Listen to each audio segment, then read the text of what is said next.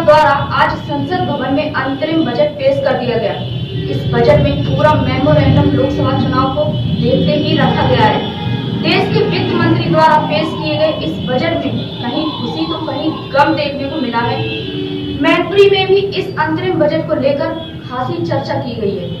केंद्र सरकार के वित्त मंत्री पीयूष गोयल ने आज संसद भवन में राष्ट्रपति के अभिभाषण के बाद अंतरिम बजट पेश किया। इस बजट में टैक्स को लेकर काफ़ी राहत दी गई है। वहीं किसानों को लेकर भी राहत दी गई है। इस बजट को लेकर मैनपुरी जनपद में राजनीतिक बाज़ार गर्म रहा। आम जनता में भी चर्चाओं का विषय जारी रहा। पूरे बजट को लेकर मैनपुरी के जनता की क्या राय है, आइए आपको सुनाते हैं। नहीं करी है अब जो भी है, पीयूष जी ने जो किया है, वो अच्छा है, ठीक है। आपको एक नॉर्मल बजट है। आपको लगता है जो बजट पारित हुआ है ये अच्छा है? हाँ अच्छा है। यह बजट बहुत ही बढ़िया बहुत ही अच्छा बजट है। इसमें गरीब किसान मजदूर सभी के हित को देखते हुए बढ़िया बजट पेश किया गया है। मध्यम वर्ग का भी ध्यान रखा गया है। हर किसी को संतुष्ट करते हुए जो जो लोकसभा के चुनाव को भी देखते हुए बढ़िया बजट मैं कहूँगा बहुत बढ़िया बजट किसानों के हित की बात हुई। और उसमें किसानों का बहुत भला होगा।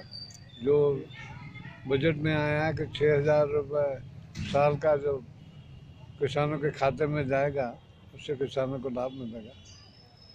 क्या लगता है पास में ही 2019 का इलेक्शन भी है उसको देखते हुए कुछ बजट इन लोगों ने पारित किया है किसानों के हित के लिए? ऐसा नहीं है क्योंकि ये सरकार जो है किसानों के हित की बात पहले भी कर रही थी अभी भी कर रही है।